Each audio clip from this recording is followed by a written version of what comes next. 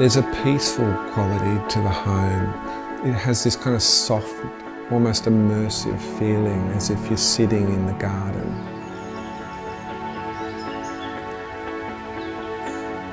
My name's Andrew Benn and I'm the founding director of Benn and Penna Architecture and I've been the architect for this project in Turramurra, Sydney.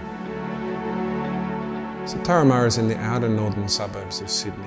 It's a particularly sort of garden focused neighbourhood with some very charming heritage listed houses.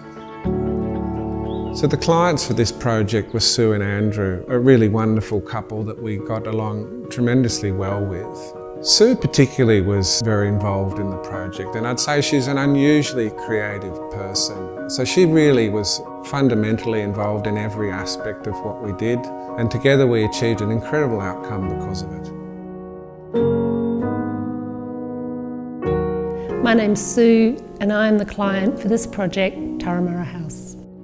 So I saw a beautiful set of townhouses that Andrew had designed in Balmain and I decided to reach out to him and the process began from there. In terms of the original home, we wanted to retain as much of it as we could and we wanted to highlight all the beautiful original features, the lead light windows and the gorgeous ceilings.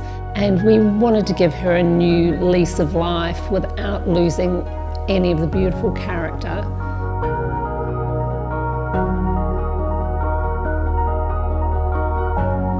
So the brief Sue and Andrew had was really twofold. On, on, the one hand, it was how to bring back the charm of the original old building, but on the other hand, how to adopt it to their modern family.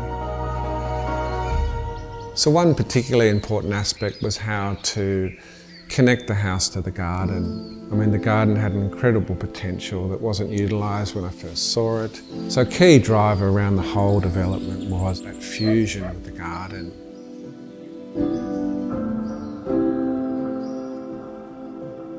So in the design, I wanted a really neutral palette. Lots of natural finishes, but with some drama as well.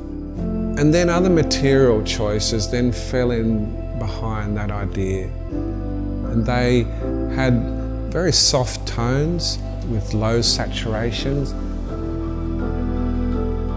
There have been so many benefits to adding the extension onto the back. But one of the unexpected things is the beautiful light and how it changes during the day. Whether it's in the morning and the light is coming in predominantly through the large skylight and from the east, or even late in the afternoon when we get the western sun.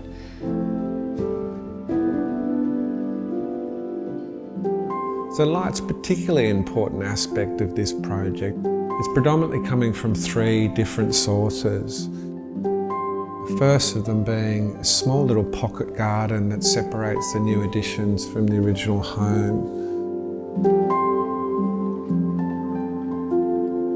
And then as the sun tracks across the sky, it comes in from the back rear facade that faces west.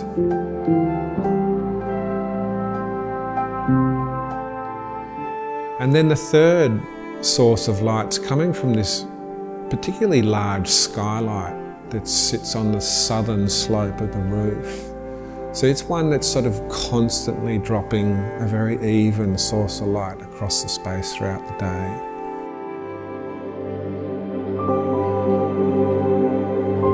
My favourite detail in the project is this soaring arch.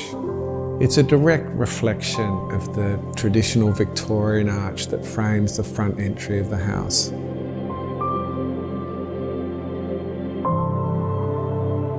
My favourite part is the new extension to the house.